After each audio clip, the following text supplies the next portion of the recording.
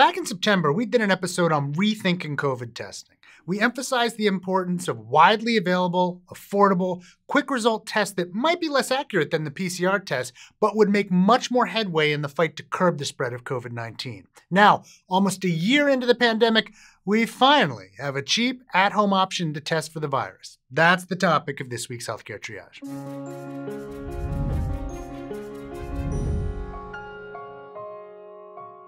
So it seems that we're finally going to have some at home testing option for COVID 19.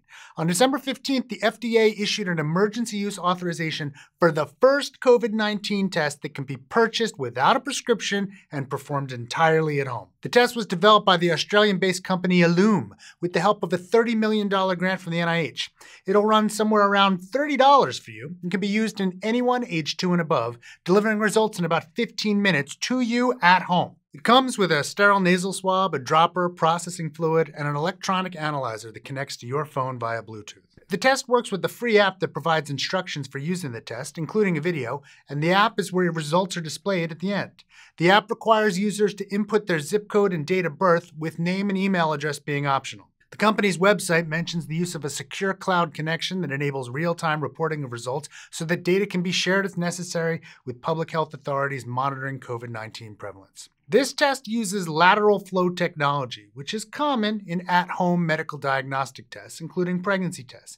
Essentially, a liquid sample runs along the surface of a pad with molecules on it that'll react to a target substance. In pregnancy tests, that target substance is a hormone. In Ellume's test, it's fragments of proteins of the SARS CoV 2 virus. In the case of the Ellume test, the electronic analyzer detects and analyzes fluorescent nanoparticle signals, transmitting its analysis to your phone. Ellume reports that their tests demonstrate 95% sensitivity and 97% specificity. Specifically, in individuals with COVID 19 symptoms, they report a sensitivity of 96% and a specificity of 100%.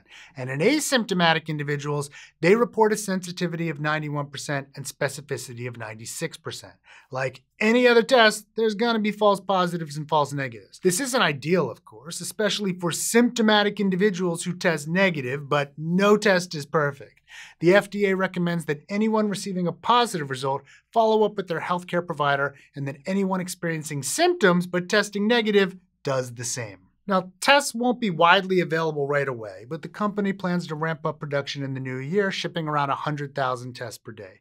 They plan to manufacture and deliver 20 million tests in the United States in the first half of next year. This may sound like a commercial for this test, and I don't want that to be true. We would do the same for any test coming on the market that fulfills these criteria. This one just happens to be first. And of course, a lot of the numbers I've said are in perfect conditions, they also depend on how well people use the test, and in the real world, they might not be that good. Until vaccination becomes widespread, which might take a while, we've still got to be vigilant about curbing the spread of COVID 19.